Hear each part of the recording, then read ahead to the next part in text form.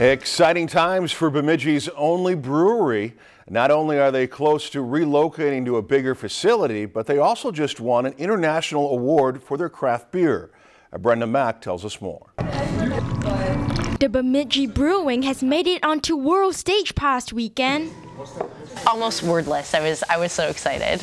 As the German Blonde craft beer wins bronze in the Golden or Blonde Ale category at the 2016 World Beer Cup. It's often called the Olympics of the beer world, kind of. Having it come through at that world level is just something that is beyond what you would ever expect because it's just there's so much competition now. And that's not the only exciting news. In about a month's time, the brewery is expecting to open their new and larger location in downtown Bemidji. Over here, we have um, our newly expanded brew house. The new brew house will increase their barrel system by five times. We expanded from a three barrel to a 15 barrel system.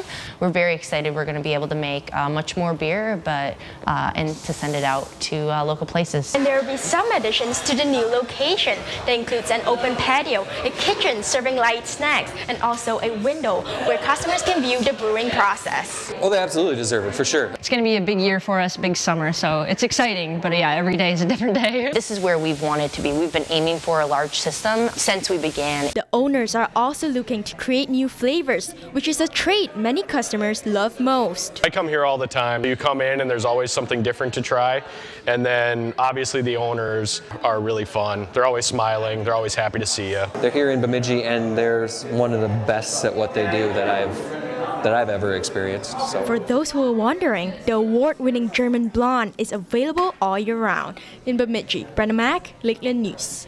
And by early summer, the new tap room will be located by 3rd Street and America Avenue Northwest. Well, congratulations to them. Always good to see the Exciting. local local businesses doing so well. If you've enjoyed this segment of Lakeland News, please consider making a tax-deductible contribution to Lakeland Public Television.